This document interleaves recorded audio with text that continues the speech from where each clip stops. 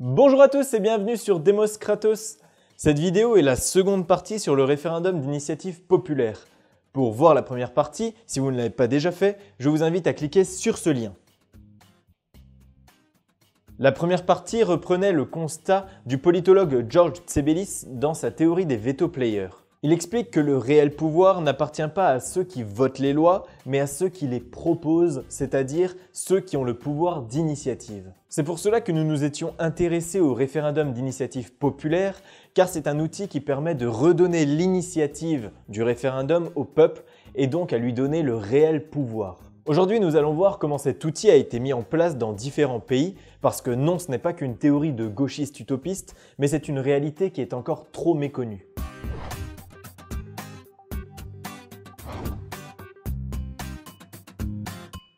Commençons par la France pour remettre les choses au clair. Non, la France n'a pas de référendum d'initiative populaire. En 2008, sous la présidence de Nicolas Sarkozy, l'article 11 de la Constitution française a été modifié pour y rajouter le référendum d'initiative populaire. Eh mais attends, tu viens pas de dire que... Enfin, du moins, c'est ce que disaient les différents médias à l'époque. Mais genre, la télé, elle nous aurait menti, quoi. L'article 11 de la Constitution stipule qu'un référendum peut être organisé à l'initiative de 1 cinquième des parlementaires et de 1 dixième des électeurs. Le véritable terme pour ce système est celui de référendum d'initiative partagée. En effet, l'initiative du référendum n'appartient pas aux citoyens, mais aux parlementaires. Les citoyens ne sont qu'une condition supplémentaire pour déclencher la procédure. Mais attention, l'initiative n'appartient pas à tous les parlementaires les partis de LR et du PS en ont le monopole. En effet, pour déclencher ce processus, il faut réunir un cinquième des parlementaires, c'est-à-dire 185 députés ou sénateurs. Or, les deux seuls partis qui disposent d'autant d'élus sont bien évidemment le PS et LR. Il faut également rajouter qu'avoir le soutien de 1 dixième des électeurs, cela revient à recueillir 4,5 millions de signatures sur la pétition du projet. Quand on sait qu'en France, la pétition qui a fait le plus de signatures, c'est celle contre la loi El Khomri, qui a fait 1 300 000 signatures, on comprend très bien que le système a été pensé de telle manière à ce qu'il ne soit jamais utilisable. Mais à tout ça, il faut bien évidemment rajouter que même si le projet passe toutes les étapes, le Parlement se garde le droit de se saisir du projet et d'annuler le référendum. Et se saisir du projet, ça veut bien évidemment dire pouvoir l'accepter, mais aussi pouvoir le refuser sans qu'il n'ait été présenté aux citoyens.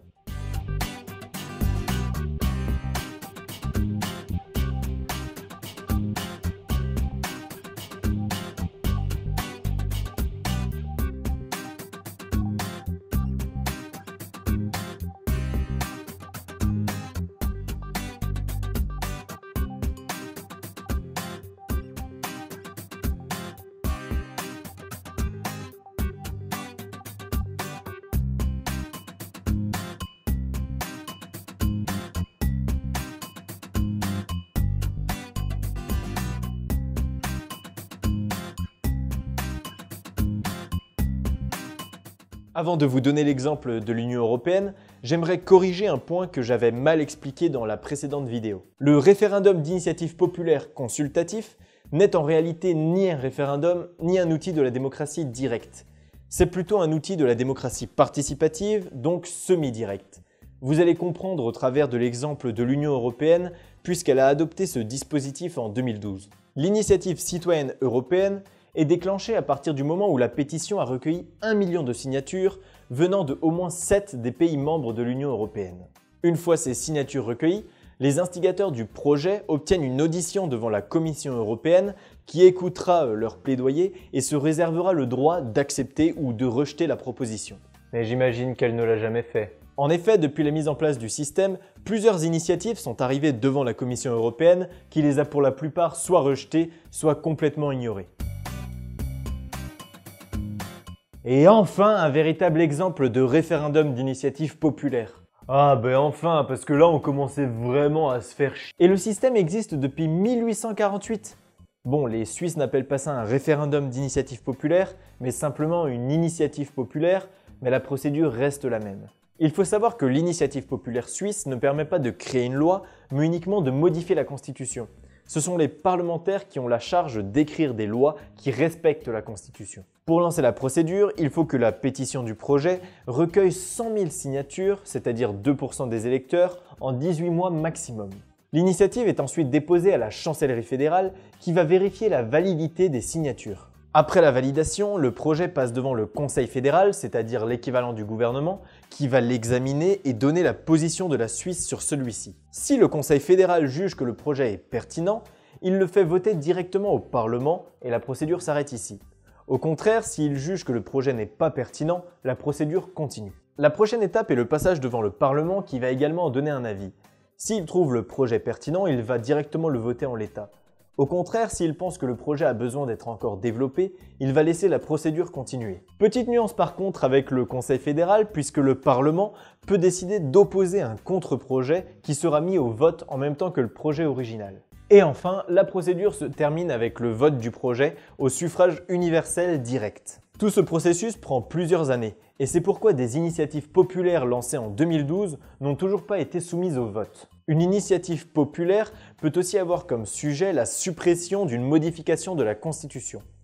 La Suisse s'est donc bien dotée d'un référendum d'initiative populaire abrogatif, mais qui marche cependant uniquement pour la Constitution et non pas pour les lois. Depuis 1848, le recours à l'initiative populaire s'est fait plus de 400 fois. 102 projets n'ont pas obtenu les 100 000 signatures. 94 projets ont été retirés par ceux qui les avaient déposés. 15 projets sont encore en suspens, soit devant le Conseil fédéral, soit devant le Parlement. En résumé, depuis 1848, ce sont un peu plus de 200 référendums qui ont été organisés et qui ont abouti à 22 modifications de la Constitution suisse. Et on peut se demander pourquoi 90% des initiatives populaires ont échoué. Le premier argument est que le seuil de déclenchement de la procédure, c'est-à-dire les 100 000 signatures, est trop bas et amène donc des projets qui sont incohérents ou qui ne sont pas pertinents. La seconde explication est que les représentants politiques sont tellement réticents au changement qu'ils en viennent à pousser la population à voter non à tous les référendums. Mais la raison la plus pertinente est certainement le fait que les sujets des initiatives populaires sont trop précis et qu'ils n'arrivent donc pas à obtenir le soutien d'une majorité de la population. Mais je me poserai quand même la question de savoir si ces initiatives ont réellement totalement échoué. Je pense au contraire qu'elles ont toutes relativement bien marché puisqu'elles ont permis de stimuler le débat sur un sujet qui a ensuite pris place dans la vie politique du pays. Mais sinon, moi j'ai une idée, c'est qu'on augmente le nombre de signatures et comme ça les projets nuls, eh ben, ils seront plus proposés. Je ne suis pas trop d'accord avec cette idée car augmenter le seuil de signature reviendrait à ne donner la possibilité de lancer une initiative populaire qu'aux grands partis qui ont la possibilité de mobiliser beaucoup de monde. Je pense plutôt qu'il vaudrait mieux rechercher des moyens de faciliter encore plus le déclenchement d'un référendum d'initiative populaire. En effet, recueillir 100 000 signatures, cela implique un coût. Certaines entreprises viennent même à se créer autour de cette activité qu'est la recherche de signatures le référendum d'initiative populaire ne doit pas être le monopole des riches ou des grands partis, mais celui de tous les citoyens qui sont désireux de changer les choses. Ouais, mais la Suisse ça marche parce que c'est un petit pays, y a pas beaucoup de monde, tu vois. Euh, ça pourrait pas marcher s'il y a beaucoup de gens, genre en France ou en Italie. L'Italie a instauré le référendum d'initiative populaire dans sa constitution de 1947 mais il aura fallu attendre 1970 pour qu'une loi organique euh, prévoyant les modalités de la procédure soit mise en place. Pour lancer le processus, il faut recueillir sur la pétition 500 000 signatures, c'est-à-dire 1% des électeurs. Depuis 1970, une quarantaine de référendums d'initiative populaire abrogatifs ont été organisés et ont conduit à la suppression d'une vingtaine de lois. En effet, le système italien ne permet pas de modifier la constitution comme dans le système suisse. Il permet uniquement de modifier les lois. La spécificité de l'Italie est que le résultat du vote n'est pris en compte que si la participation était supérieure à 50%. Non mais tu vois, comme ça c'est cool, ça les oblige à venir voter s'ils trouvent que le projet il est cool. Oui mais ça pose quelques problèmes, comme je vais vous le montrer avec l'exemple du référendum de 1990 sur les pesticides. Ah mais attends, je m'en souviens, c'était Monsieur Dupont Là, c'est le parti des écologistes qui avait lancé l'initiative populaire. Le résultat du vote a été que plus de 93% des citoyens ont voté oui à l'interdiction des pesticides. Le problème, c'est que le taux de participation n'était que de 43%. Le résultat a donc été annulé. Cela veut dire que 40% des citoyens italiens, c'est-à-dire 30 millions de personnes quand même, n'ont pas réussi à abroger la loi pour les pesticides qui avait été votée par euh, des députés qui ont été eux-mêmes élus par peut-être 30 à 35% des citoyens. Avec cette disposition, les élus gardent encore un poids important face aux citoyens. En effet, comment expliquer que l'abstention n'annule pas une élection, mais annule un référendum initié par le peuple?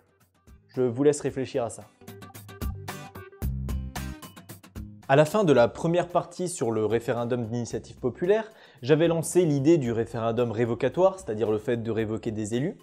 Et il se trouve que ce système existe dans certains États euh, américains et au Venezuela. Chaque électeur vote pour ou contre la révocation et vote en même temps pour un candidat qui viendrait remplacer le titulaire du poste dans l'hypothèse où la révocation était confirmée.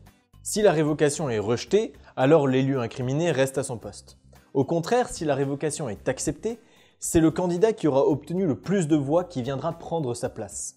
En 2011, ce ne sont pas moins de 150 référendums révocatoires qui ont été organisés aux États-Unis et qui ont abouti à ce que 75 élus soient révoqués et à ce que 9 démissionnent d'eux-mêmes euh, par peur d'être révoqués. Suite à la première vidéo sur le référendum d'initiative populaire, certains d'entre vous m'ont fait remarquer à juste titre qu'il n'était pas possible de mettre cet outil en place sous la Ve République car euh, la Constitution empêchait la mise en place du référendum révocatoire ou des révisions constitutionnelles. Cette remarque pertinente nous fait nous rendre compte que les institutions de la Ve République ne nous permettent pas de développer une réelle démocratie. C'est pourquoi il est peut-être temps de penser à passer à une sixième république, ou du moins un autre système qui pourrait nous permettre de repartir sur de meilleures bases et construire à nouveau tous ensemble, via une constitution citoyenne, les bases d'une démocratie plus directe et réelle. Je développerai ces sujets plus en détail dans les prochaines vidéos bien évidemment. Aujourd'hui, la plupart des femmes et des hommes politiques ont le projet du référendum d'initiative populaire dans leur programme politique qu'ils présentent aux diverses élections. En effet, c'est un projet, c'est un outil qui est assez populaire puisque, selon l'IFOP, 75% des Français sont pour sa mise en place. Maintenant, la question est de savoir quel homme ou femme politique aura le cran, aura euh, l'honnêteté surtout de mettre en place ce système, euh, puisque ce serait un, grand pas vers la démocratie, mais que ça demanderait euh, quelques changements dans nos institutions. On aurait pu aussi s'intéresser à la Californie, au Liechtenstein ou à l'Allemagne qui présentent des formes diverses du référendum d'initiative populaire. Ce qu'il est intéressant de remarquer, c'est qu'aucun pays pour l'instant n'a réussi à mettre en place un référendum d'initiative populaire à la fois complet et efficace. Il faut donc encore un long chemin de réflexion pour construire cet outil et le penser de la manière la plus complète possible afin d'ensuite le mettre en place dans un pays et l'améliorer petit à petit. L'avantage de ces exemples, c'est qu'ils nous montrent que le système est compatible avec différentes échelles de pays. Par exemple avec la Suisse qui est un petit pays, ou avec l'Italie qui est un pays dont la population est plus similaire à celle de la France ou de l'Allemagne. N'hésitez pas à me dire dans les commentaires si vous avez mal compris un point, si je me suis mal exprimé, si j'ai fait des erreurs, ou si vous voulez que je fasse une troisième vidéo sur cet outil qui soit beaucoup plus poussé, où j'aille chercher euh, les formes les plus atypiques de référendum d'initiative populaire dans des pays du monde entier. Vous pouvez vous abonner à la page Facebook, la chaîne YouTube et partager cette vidéo pour me soutenir. Merci d'avoir regardé cette vidéo jusqu'à la fin et à la semaine prochaine